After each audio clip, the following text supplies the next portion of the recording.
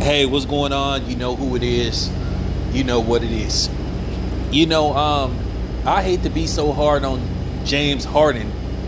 Uh, he definitely ain't big game James. So, this is the thing about James Harden. This is why a lot of people are critical of him. This was the game he should have had the green light to show out.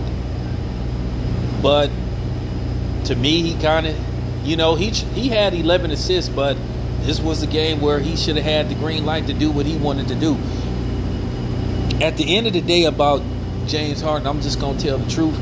This is very harsh to say this about James Harden, but I'm just keeping it 100. I think when you think of a guy like James Harden and how you think his career may turn out, I think James Harden may be the equivalent to the baseball version, or should I say the NBA version of Sammy Sosa and the football version of Dan Fouts.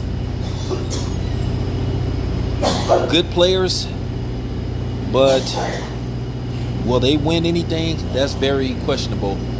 I just think James Harden just don't know when to turn it on and turn it off. This is just more proof that the Houston Rockets will be bounced out of the playoff in the first second round. I don't think they'll see the, the I don't think they'll see the Western Conference Finals. I have the Clippers or the Lakers beating them. Now I'm gonna talk about the Lakers in a minute. I'm gonna talk about the Lakers in a minute. I'm gonna get to them in a minute. But this is the thing that bothers me about James Harden. He scores a lot of times 50 40 meaningless points. This is why a lot of people accuse this dude of worrying about his stats versus winning games. This was the game he should have had the green light. It is no excuse for the Houston Rockets losing this game. The Bucks and the 76ers, I'll talk about that in a minute. That's a different story. But losing to a team that now has eight wins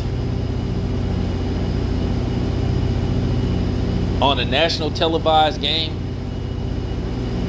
people laughing at the Houston Rockets. This is why people don't take them seriously. This is why they just watch James Harden fill up the stat sheets, but they don't think he's going to be holding up that Larry O'Brien trophy because James Harden has just showed that he is not a playoff player. He is a great regular season player. Let's see can James Harden, you know, do this in the playoffs he's proven that he can't get it done in the playoffs. He always seems to choke in the playoff and not make big shots. 24 points, like I say, by James Harden standards, not a good night.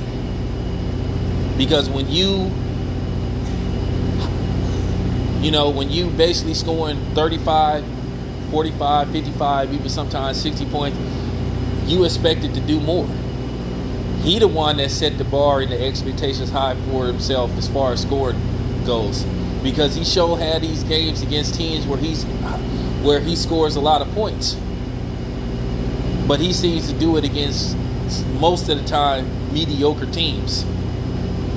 We want to see him do that against the Spurs. Well, the Spurs are not that good. The Lakers, the Bucks. We want to see him have those 50 point games and lead his team into into victory. But it is what it is about James Harden. I just don't think he has mental capability to lead a team to the NBA Finals. I think at the end of the day, he's content with losing in the playoffs, but as long as he averages 40 points in the playoff, he's good. This your boy Town Biz. I'm out.